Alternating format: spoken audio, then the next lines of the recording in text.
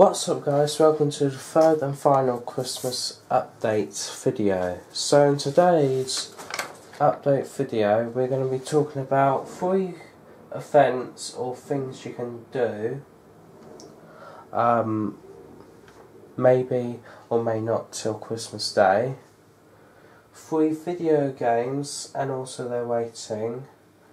another Christmas song and then how many days or hours till Christmas. Alright?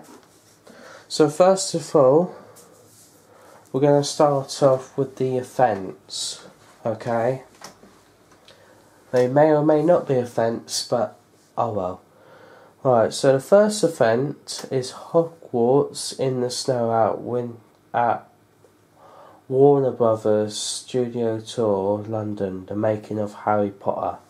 This will be there until the 31st of January 2016.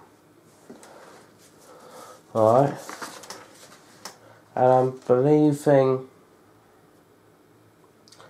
I'm not actually too sure what it is, but um, I'll put some information and links down below. Also, some information. Um, if you're going there for a tour, um, some of the prices here. An adult is £63. A child, 5 to 15 years, is £58.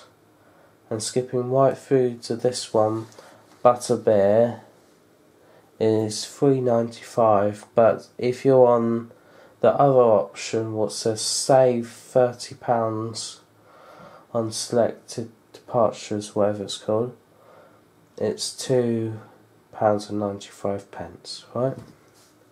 Other information will be down in the description as well. The second event is the Winter Wonderland in the Hyde Park. Now, if you want to do this one, it's free. It is. And um, that's all I'm going to say because I want to try and make this short. Oh, before that, other charges may apply for wide ice skating and etc. Alright, so video games of 2015. We've only got three here, so Mortal Kombat. Um, Mortal Kombat came out um, sometime this year. It was a game that was on PS4, Xbox One, PC, Alright. People actually quite like this game, like any other game, and I believe it was out may or may not be before Batman Arkham Knight came out. And the reviews for it, I've got three here. For IGN.com, it was 8.4 out of 10. And for GameSpot, 8 out of 10. Alright? Batman Arkham Knight. It was released on a date that I can't remember in June, I think it was, and their plat their console sales released on the PlayStation 4, Xbox One, and the PC, age 18. And the ratings for that one um, from Trust Reviews, 9 out of 10. And for Game S, 7 out of 10. And finally, Disney Infinity 3.0.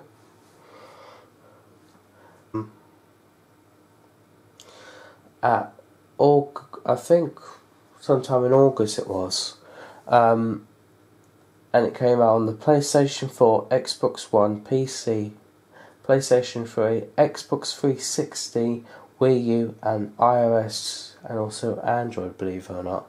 And their reviews were, or ratings I meant, is 8.9 out of 10 from IGN. Trust reviews 8 out of 10 and another 8 out of 10 from GameSpot. Finally, a Christmas song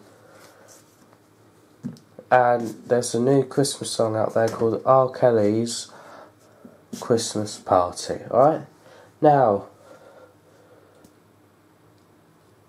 so, how many days till Christmas? Well, here it is.